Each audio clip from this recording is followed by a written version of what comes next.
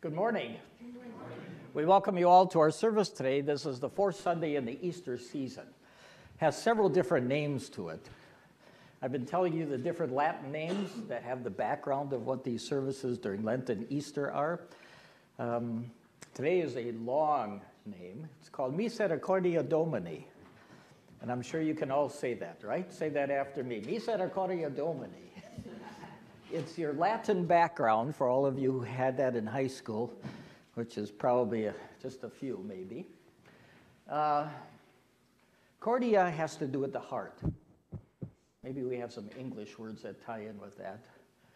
Um, miser has to do with sympathy, um, mercy in particular. When you put those two together, though, it's a descriptive way. It's saying the merciful heart. Uh, and it speaks of the goodness or the kindness of the Lord. Comes from one of the Psalms, Misericordia Domini. You actually also hear it in the uh, 23rd Psalm, which you'll hear today too, when it talks about the goodness of the shepherd. So this is the goodness of the Lord, particularly regarding his resurrection and all the blessings that come to us after that. And then traditionally, and this goes way back in church history also, one of the Sundays following Easter, and it's not always the same in the different traditions of worship that there are, but there's always one Sunday, usually in the Easter season, that is called Good Shepherd Sunday. And that is what today is. And so the idea of Misericordia Domini and Good Shepherd go hand in hand. The goodness of the Lord, the goodness of the shepherd as he guides us through this life, now as our risen Savior. So the, those are the thoughts for the Sunday. We also have Mother's Day today, and we're coming before our Lord, thankful for the mothers that He has given us to guide us on our way. Those will be some of the thoughts that are there. Now, I mentioned earlier that Jane is not with us today, so it gives me a little bit of an opportunity, I thought, to take and to guide you through some things that are in the hymnal that you might not have been able to see so far. So, if you would, take out your hymnals, the blue hymnal, and if you would turn first of all to page 235.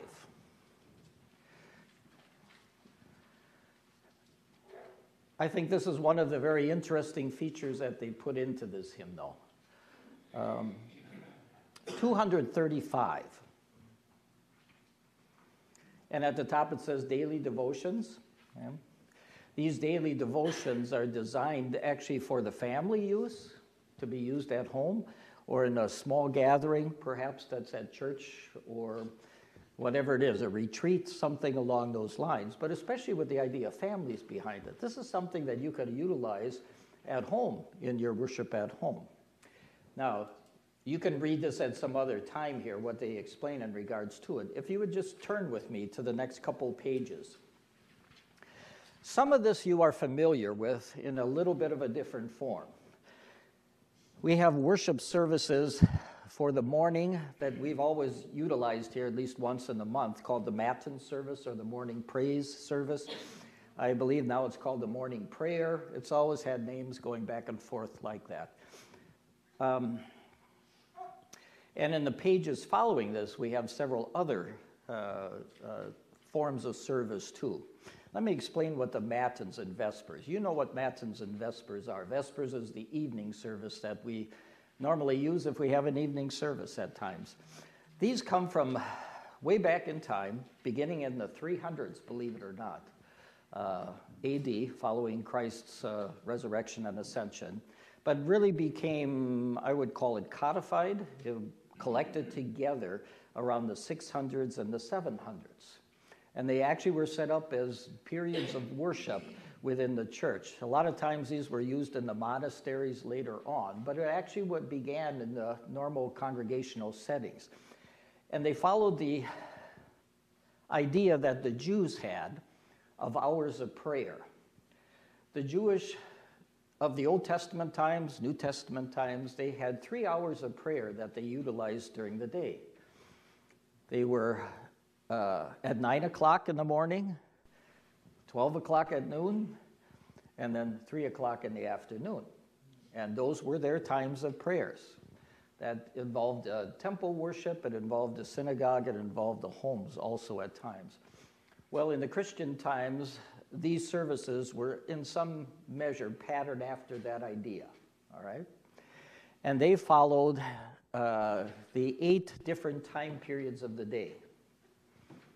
Okay, beginning at 12 o'clock midnight, 3 o'clock, these are rough times. I mean, they did not have clocks like we have clocks that they followed specifically that, that period. But around 12 o'clock at night, 3 o'clock in the morning, 6 o'clock, 9 o'clock, 12 noon, 3, 6, 9. I think if you count those up, they're 8, right? Okay, so every three hours. And they were given names and you are somewhat, at least a couple of them, you're familiar with. Matins. You know what the Matins service is. You who have worshiped with us before, we utilize that once a month. It's a, a, a morning praise service, is basically what it does. The idea was at the start of the day. The difference between us using it and them using it back then is we probably use it at what, 9 o'clock in the morning? You know when they utilized it? I can see you all doing this too. Midnight. Yeah, somewhere around midnight was actually the matins time. And the, uh, the idea was well, the day in one sense is beginning, although everyone is sleeping, right?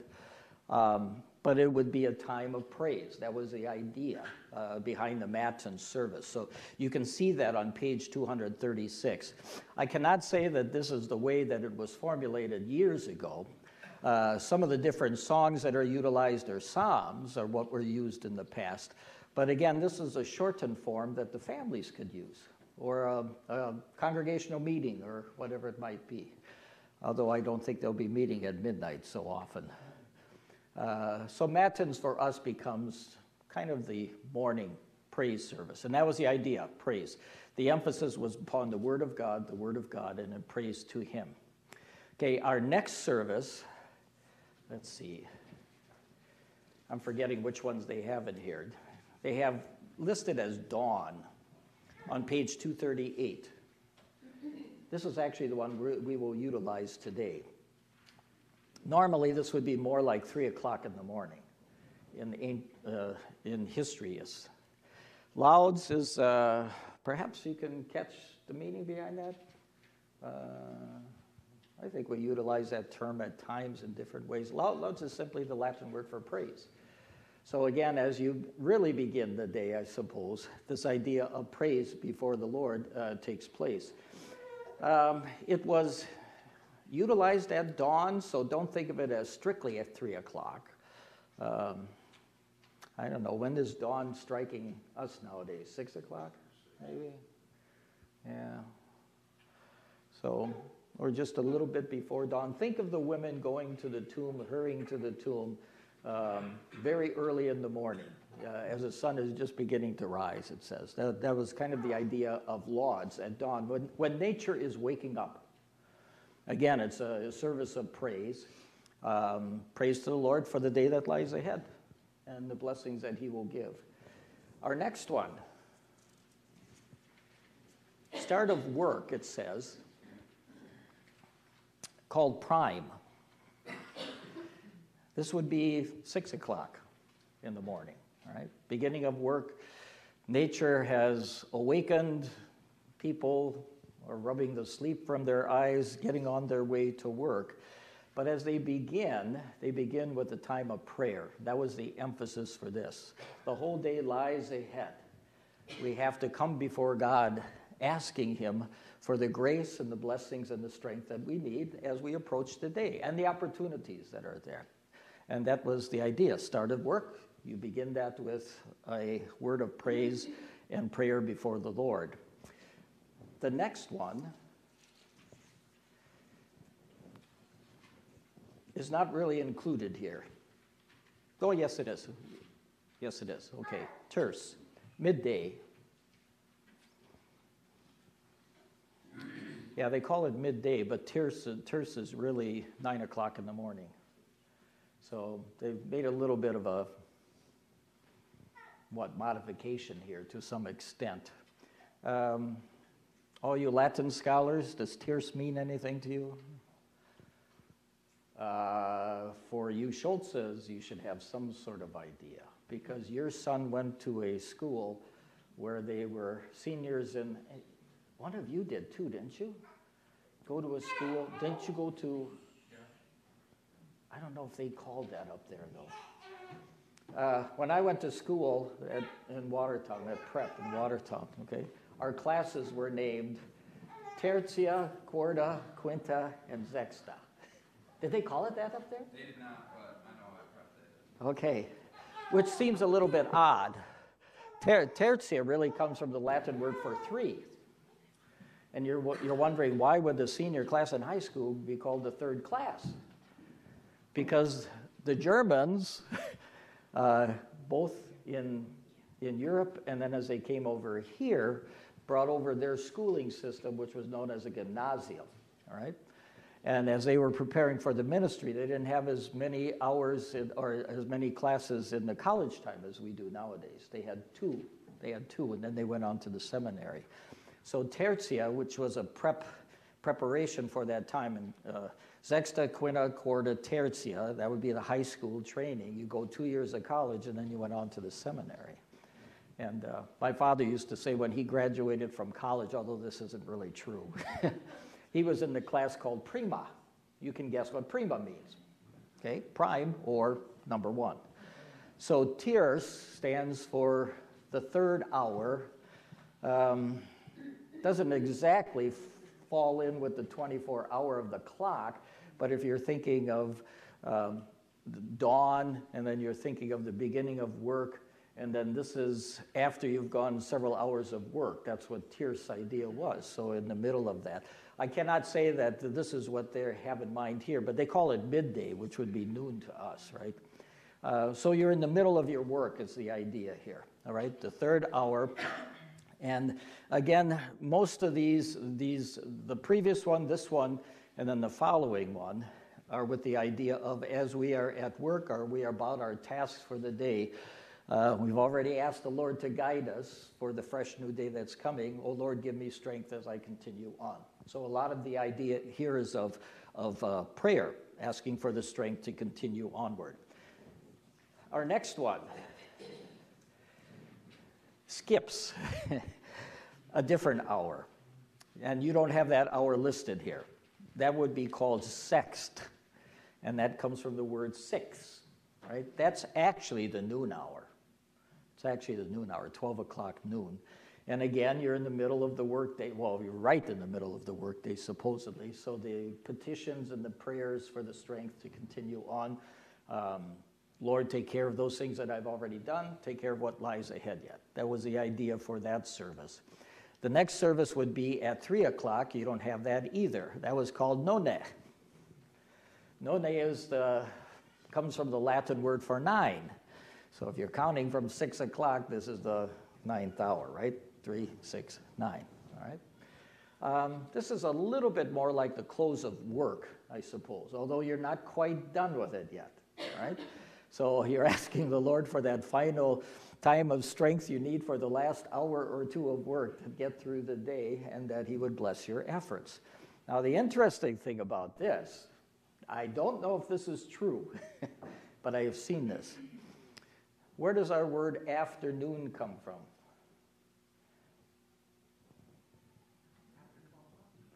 This none is in there. Okay? So you're in the afternoon. It's not, we think of it as after 12 o'clock, right? They're thinking of this at the close of the afternoon, what we call afternoon, the close of the day from that time period. And that's actually where our English word afternoon came from after the nona, after that time of day where that service was uh, being held. Uh, your next one you have, Vespers. Generally it was done around 6 o'clock. That's the close of the, the workday, you might say, before the time of rest, before you go to bed at night. And uh, the idea there was a little bit more reviewing God's uh, guidance, His providence for you, getting you through that day, closing off that day or the work part of that day with that idea of praise to God for the strength that He has given us, and looking forward then to the evening time that would come. Um, the burdens and the care of the day, in that sense, are sort of over with. And that became a thought that came with the Vespers service. See, and you're familiar with Vespers to a, certain extent. And then the last service of the day, this is the only other one. Would, we would always have matins, we would have vespers. Compline would come in there at times. Um, not generally used, but it was still sort of hanging around yet. That would be at 9 o'clock at night. And uh, I don't know what time you all go to bed, but that was the idea behind it. We are now closing off the day, giving thanks to the Lord for the day in which He has blessed us and helped us through. And now we're actually asking a little bit more for a very restful and peaceful night. Um, as the idea of tranquility there as the Lord closes out the day for us. Now, th- th- these were the what were called the office offices of the church as far as the worship was concerned. Every three hours, it did begin in the congregations. Um, towards the Middle Ages and whatever, it was carried on more or codified a little bit more by the uh, monasteries, you know, where they were living in communities. Christians were living in communities. And what I think is interesting is they're putting this back in front of us once more. This was the way Christians worshiped from the uh, beginning, following Christ's resurrection, whatever. Now, granted, it's collected over time, but it's a useful way to go about your day. And my encouragement to you would be when sometime you get a blue hymnal, uh, utilize these. Uh, whether you do that in a family setting, whether you do that in a private setting for yourself, uh, with some of these ideas, maybe you can remember uh, the reason behind this and use it as just a very simple form of worship as you go throughout your day, looking to your Lord for the strength and the blessings that He alone can give, and then closing off the day with this Lord, give me peaceful rest for the night. So, those are the ideas of the different offices that are called uh, of worship that we have. These were intended, the ones I was just showing you, for the smaller setting. In our worship, uh, regular worship part of the hymnal, we have Vespers, we are, excuse me, we have Matins, we have Vespers, and we have Compline, and a little bit of a longer version with the canticles and the, the uh, ancient hymns that are also utilized in that. So that is your instruction period today. Any questions? Any thoughts? Okay. This morning, we're going to use uh, the office of lauds, or lauds, I should say. You'll find that on page 238. And we'll ask you as the congregation uh, throughout this a very short service, all right? So we'll have a shorter service today, uh, depending on how long I think I want to preach the sermon, I guess. and uh, we'll have you speaking the parts that are going to be in the bold print, all right? And now we'll begin in the name of the Father, Son, and the Holy Spirit. We'll begin singing our first hymnal. That'll be hymn number 778. 778. And many of our hymns today will include the thoughts of the Good Shepherd as he is providing for us. 778.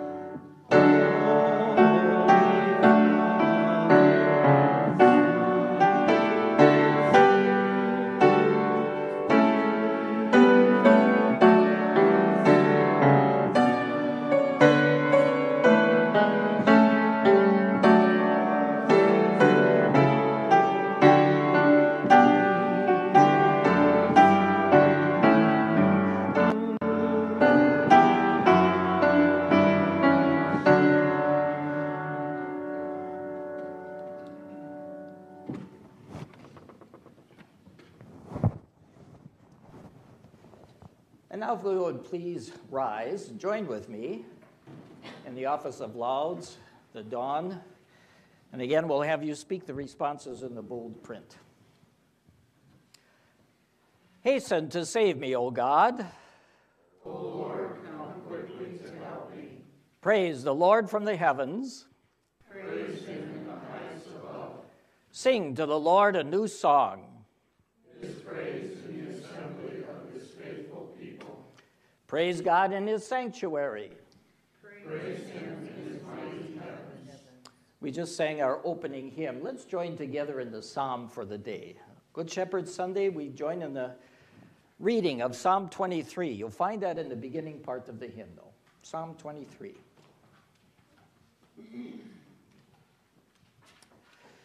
We'll begin with the reading of the refrain, read through the verses and the Gloria, and then end with the reading of the refrain once again. If you would join with me. I will live in the house of the Lord all the days, all the days of my life. The Lord is my shepherd, I lack nothing.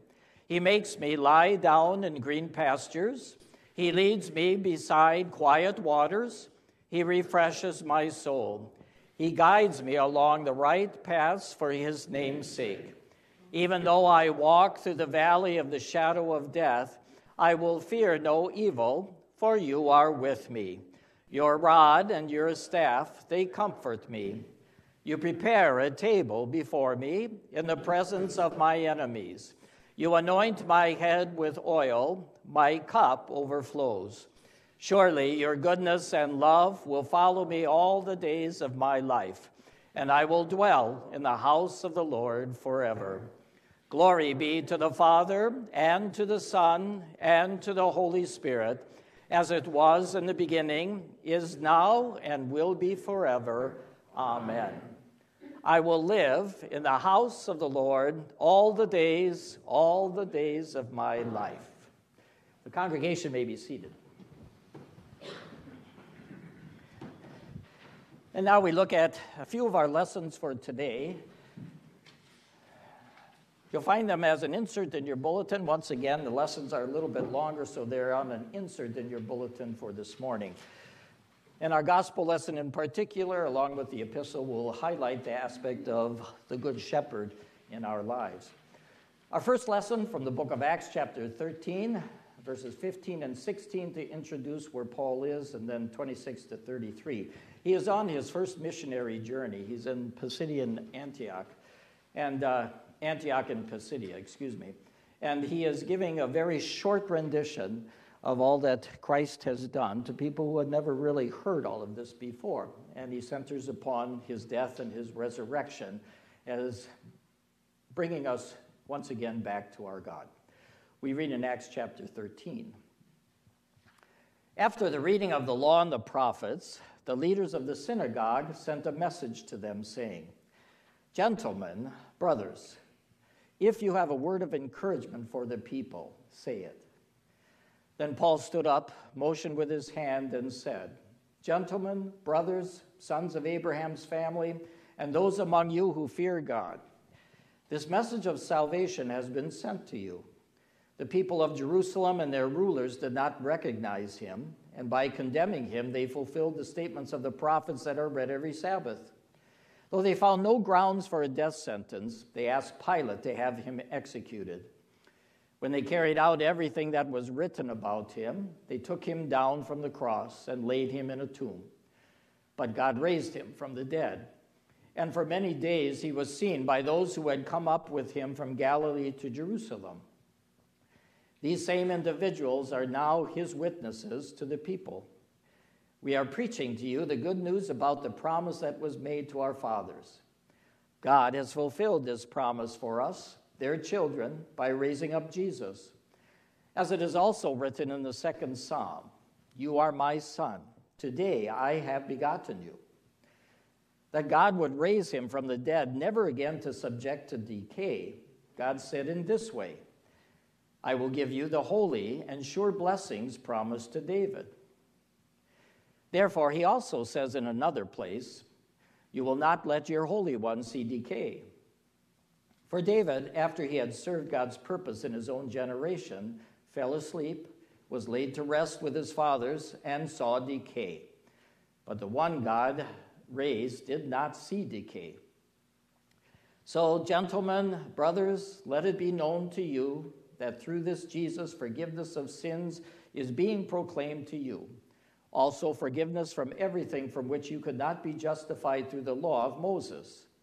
In this Jesus, everyone who believes is justified.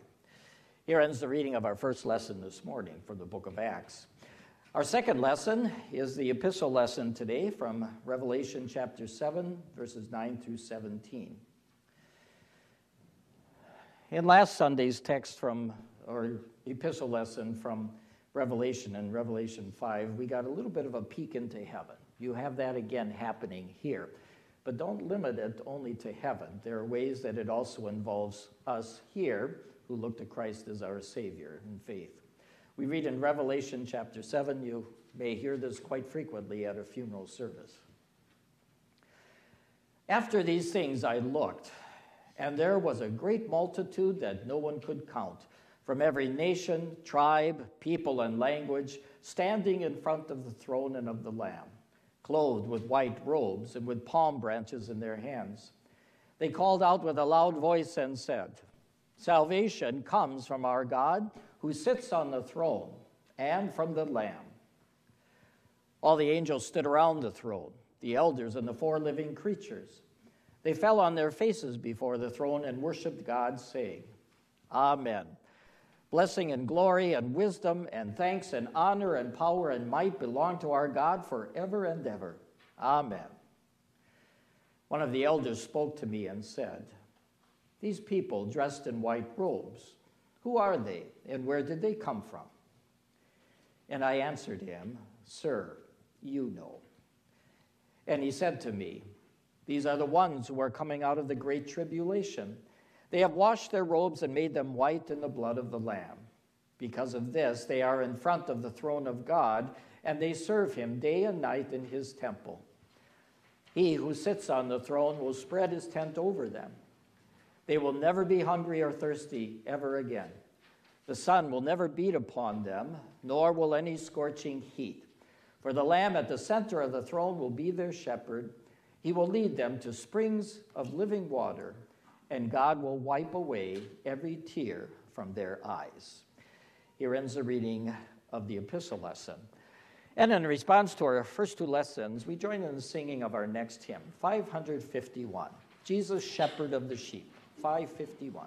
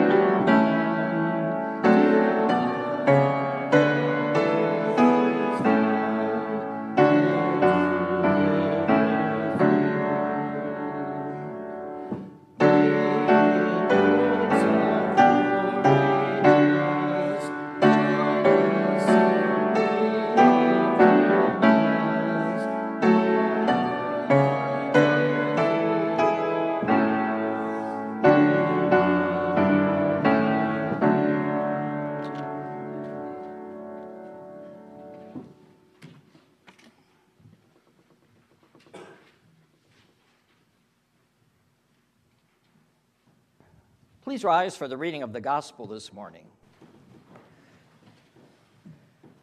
The gospel lesson for the day, Good Shepherd Sunday, is recorded in John chapter 10, beginning at verse 22. All of John chapter 10 is really about the Good Shepherd in different ways as he provides for us. He lays down his life for us, he gives us whatever we need, and he, here he assures us that he holds us in his hand. We read in John chapter 10. Then the festival of dedication took place in Jerusalem. It was winter, and Jesus was walking in the temple area in Solomon's colonnade. So the Jews gathered around Jesus, asking, How long will you keep us in suspense? If you are the Christ, tell us plainly. Jesus answered them, I did tell you, but you do not believe. The works I am doing in my Father's name testify about me, but you do not believe because you are not my sheep, as I said to you. My sheep hear my voice. I know them and they follow me. I give them eternal life, and they will never perish. No one will snatch them out of my hand. My Father, who has given them to me, is greater than all. No one can snatch them out of my Father's hand. I and the Father are one. This is the word of our Lord from the Gospel. The congregation may be seated as we continue with our singing of our next hymn hymn number 555. 555.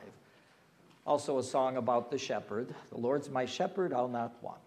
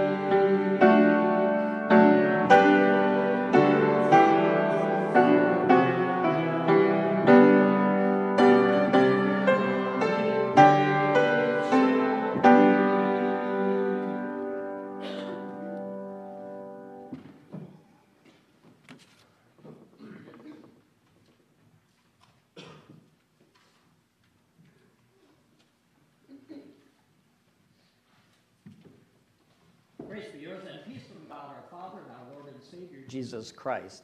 Amen. This morning we're going to look at the epistle lesson today as we're going through the book of Revelation here over these Sundays in the Easter season.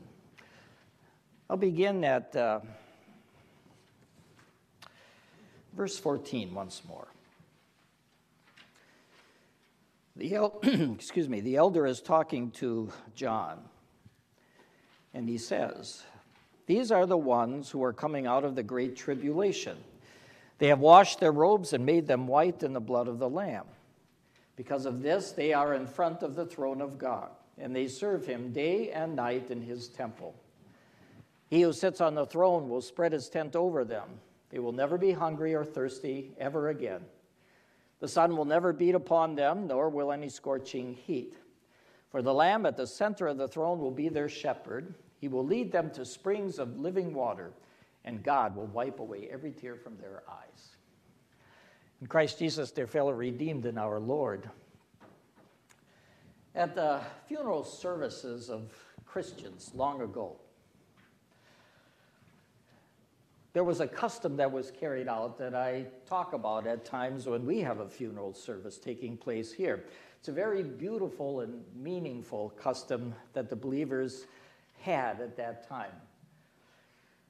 We're told that in days gone by, when a member of a congregation passed from this earthly existence, his name was not removed from the membership roll.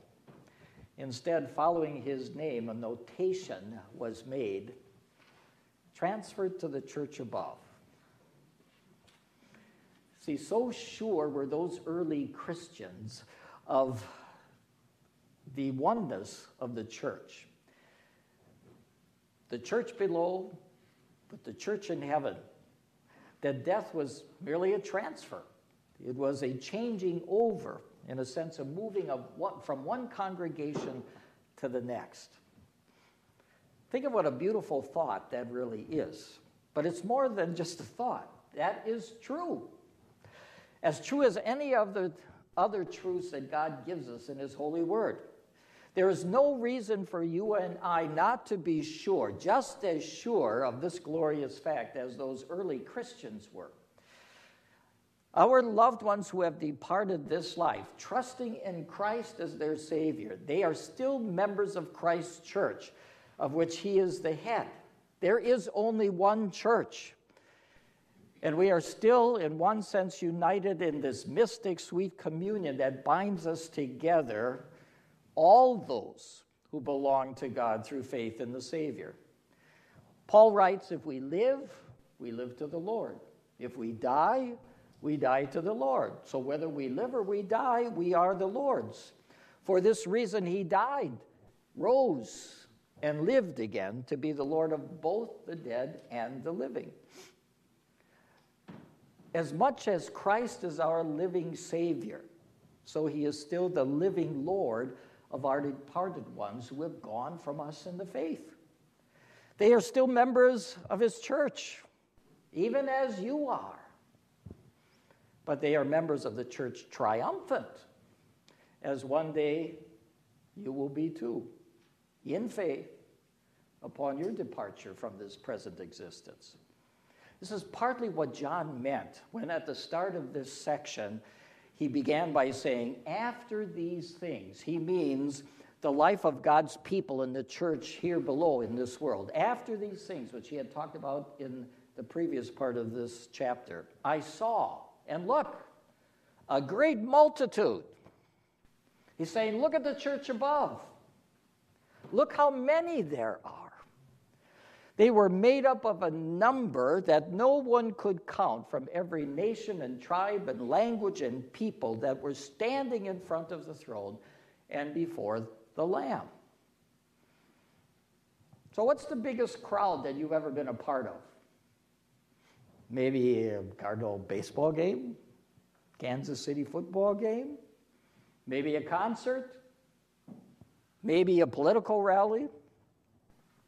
Probably the largest crowd that I was ever a part of took place quite a while ago, 1981. It's at the Rose Bowl in Pasadena, California. There were over 103,000 people that were there. I could never have counted them, but there was someone who must have counted them. Well, the crowd that John sees here is so much larger, can't even compare to any crowd that you or I might ever have been a part of. So big that no one could even begin to count them. It's as if John is just saying, Look at that number, look at how many there are. You can't count them all. Now, if you're thinking of Scripture, doesn't that remind you of what God promised the Old Testament patriarchs? Abraham, Isaac, and Jacob, that their descendants would be as innumerable as the stars in the heavens or even as the sand upon the seashore? God was not just talking about physical descendants either when he said that. He was talking more along the lines of spiritual descendants, people who would be saved by faith in the coming Savior, just as those patriarchs were.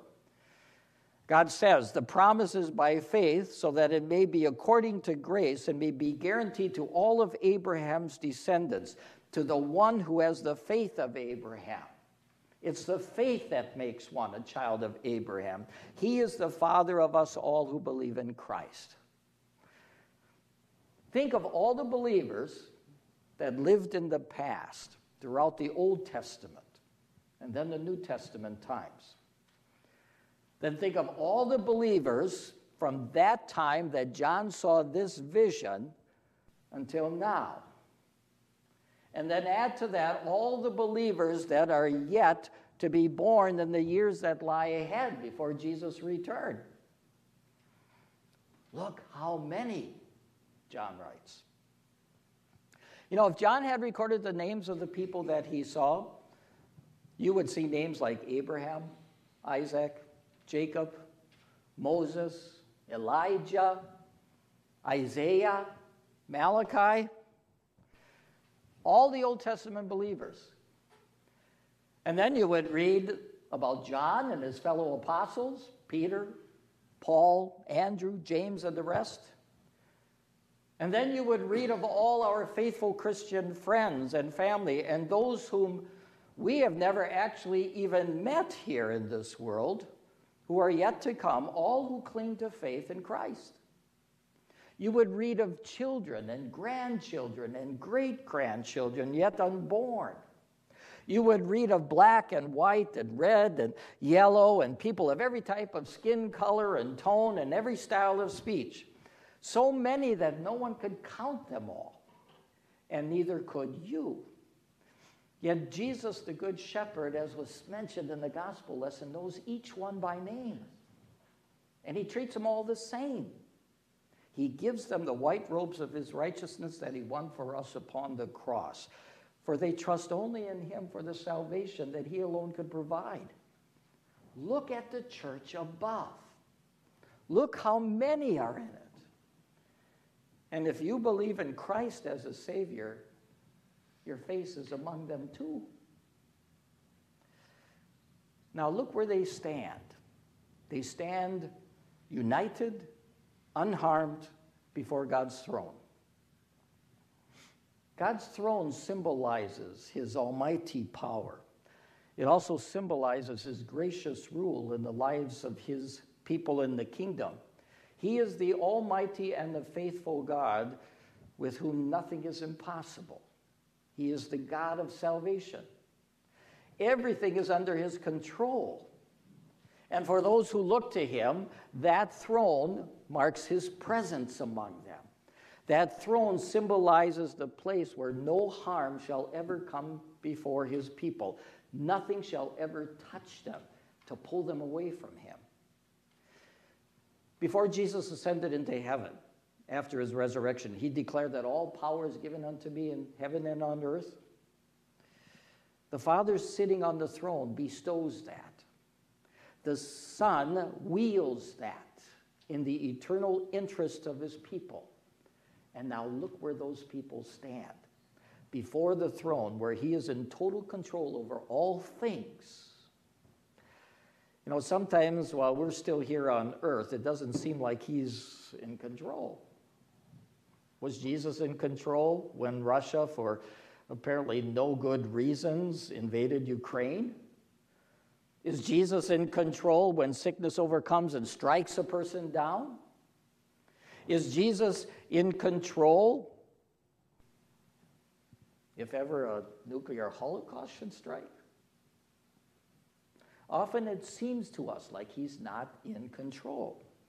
If he were, we say, why do such things happen? Why do hardships come to everyone? You can't always give a specific reason for that, for every hardship that might come our way in life. Too often, the mystery of His will and His workings go far beyond, they escape us. But isn't it a little bit presumptuous on our part to judge the wisdom and the ways of the one who sits on the throne that is above? We do well to remember that all we are and all we have are God's doing. We could not exist for even one second of the day if His hand was not blessing. Besides, it's not He who caused this world to fall into the decay and disarray that it's in. It was we in our sin who caused it and the troubles that enter as a result of that. Such trials, then, and difficulties, they're inescapable here on earth because of it.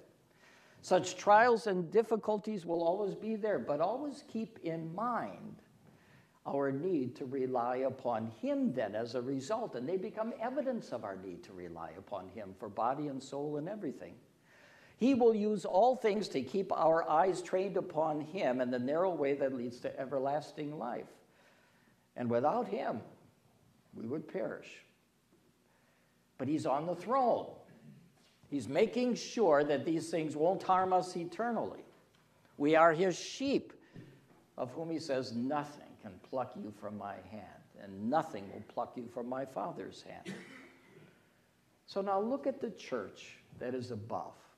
Those who are there are a sure sign to us that that promise is kept.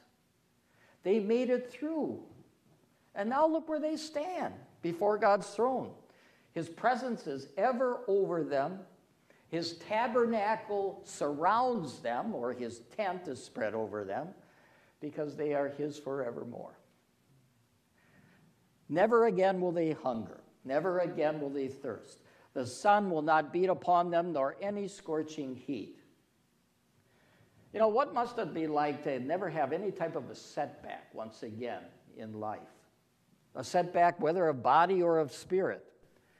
To feel like you never lose anything, but only blessing upon blessings, one after another, comes your way. That sounds great, but it's not how life works here. We must go through many hardships in order to enter the kingdom of heaven, Paul said. People get sick, people lose jobs, people lose their homes, they get cancer, and in the end, all die. Life doesn't work perfectly here on earth does it? But it does in heaven. Think of the joy. Look at the joy that must be on the faces of this crowd that is dressed in white, standing before the throne. These are God's people. They experience nothing but victory, His victory, that now last for them forever. That can be hard to wrap our own minds around because it's not our reality in the present. But it is there in the church that's above. But the biggest reason for their joy is simply this the Lamb at the center of the throne is their shepherd. He leads them to springs of living water, and God wipes away every tear from their eyes. That's the one who was slaughtered for our sin. It's Christ Jesus. He's the cause of that joy. The lamb, yet also now the shepherd that he always is and always seeks to guide, protect, and to take us onward. Never again will they have to face any kind of loss or hurt because of sin. such is the existence of those who dwell in the church above. So, why is this picture given to us?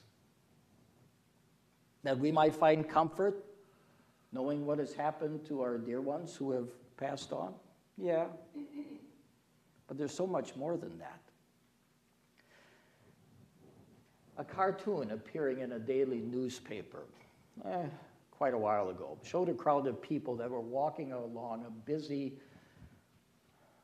city street in one of our large cities in our country. Each person had his head slanted downward and his eyes were looking only at the pavement. Beneath the picture, this caption read, Almost no one looks up anymore. Think of how true that is when you consider the majority of people in our day and just in our own country.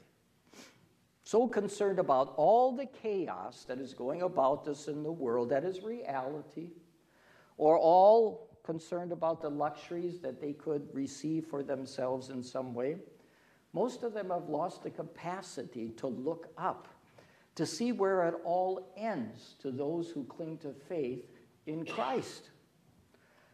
Those who have gone before us, who have been transferred to the church triumphant, they already enjoy his tent that is spread over them. And someday, when the clocks of heaven strike the appropriate hour, when our own departure will take place, we shall worship with them where we will be with him forever before God's throne. But without that upward look, at the Lamb that was slain, who is now our shepherd, it will not happen.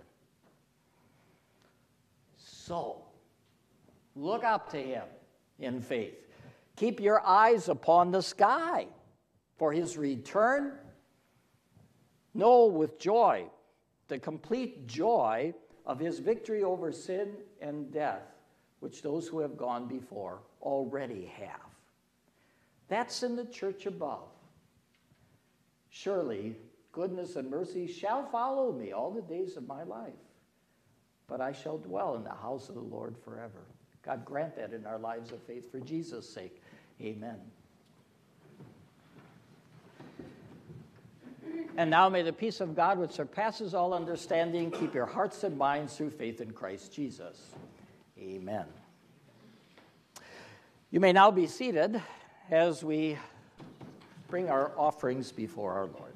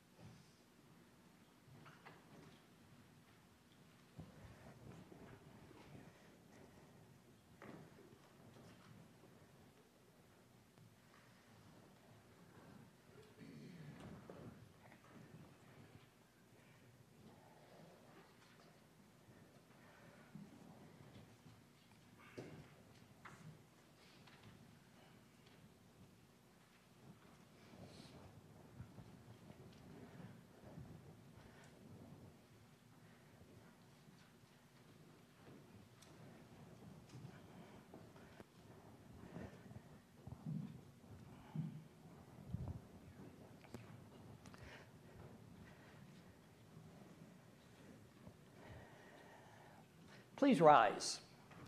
And in taking out your hymnals, once again, turn to page 238 in the Service of Lauds, the Dawn Service, 238. One of the ancient canticles that is sung is known as the Benedictus. The, a canticle is a song which you find in the scriptures, not just a regular hymn but one of the songs that is sung by one of the believers of old, whether that be Mary at the time uh, that Jesus was announced to be born, or in this case, this is Zechariah's song as John the Baptist was about to be uh, born. And it, or really after he was born. It is a song that they sang to the glory of God that speaks of the blessings of what the Savior brings to us in life. We read this song. We'll join together in reading it this morning. Praise be to the Lord. Song of Zechariah. If you would join with me. Praise be to the Lord, the God of Israel. He has come to his people and set them free. He has raised up for us a mighty Savior, born of the house of his servant David. Through his holy prophets, he promised of old that he would save us from our enemies, from the hands of all who hate us. He promised to show mercy to our fathers and to remember his holy covenant. This was the oath he swore to our father Abraham to set us free from the hands of our enemies, free to worship him without fear, holy and righteous in his sight all the days of our life. You, my child, shall be called the prophet of the Most High, for you will go before the Lord to prepare his way, to give his people knowledge of salvation by the forgiveness of their sins. In the tender compassion of our God, the dawn from on high shall break upon us, to shine on those who dwell in darkness and the shadow of death, and to guide our feet into the way of peace. And now, the prayer section of the Lauds service. I'll add a few other thoughts as we, before we go to the Lord's Prayer. Save your people, Lord, and bless your inheritance. Govern and uphold them now and always. Day by day, we bless you. We praise your name forever. Keep us today, Lord, from all sin have mercy on us, Lord, have mercy. Lord, show us your love and mercy, for we have put our trust in you. In you, Lord, is our hope. Let us never be put to shame. And, O Lord Jesus Christ, you are the good shepherd who laid down your life for the sheep. Lead us now to the still waters of your life giving word every day in our lives that we might abide in your Father's house forevermore through our faith in you.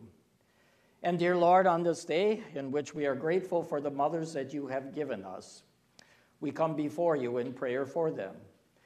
It has been you, Lord, who from our mother's arms have blessed us on our way with countless gifts of love. In our mother's endless hours of caring for us, watching over us, and praying for us, you were holding us in your arms. We give thanks to you for the mothers you have given us. Richly bless them according to their needs and make them strong to carry out their responsibilities. Just as you gather your children under the shelter of your wings, give mothers the same desire to protect and comfort those entrusted to their care. And for all other needs that we have, we come before our Lord in the prayer that He taught us to join in praying. Our Father, who art in heaven, Hallowed be thy name. Thy kingdom come, thy will be done on earth as it is in heaven. Give us this day our daily bread, and forgive us our trespasses, as we forgive those who trespass against us. And lead us not into temptation, but deliver us from evil. For thine is the kingdom, and the power, and the glory, forever and ever. Amen. Let us praise the Lord. May God be gracious to us and bless us and make his face shine on us. May God bless us still, so that all the ends of the earth will fear him. The congregation may be seated as we join in the singing of our final hymn, 890, 890, Jerusalem the Golden.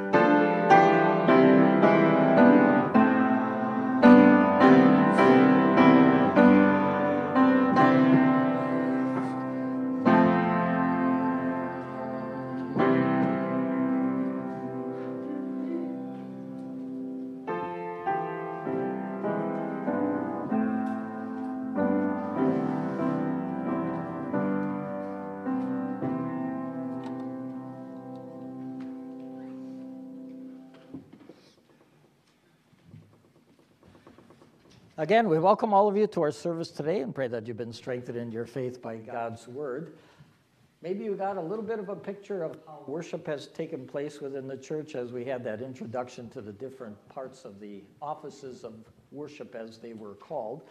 And um, perhaps you can utilize that in your own worship at home or so. Then we invite you to remain following our service for a time of fellowship and refreshments, and then for a Bible study hour. And then, mothers, may God grant you his blessings on the day that lies ahead. And kids, thank your moms for all that she's done for you, whatever that might be in your life.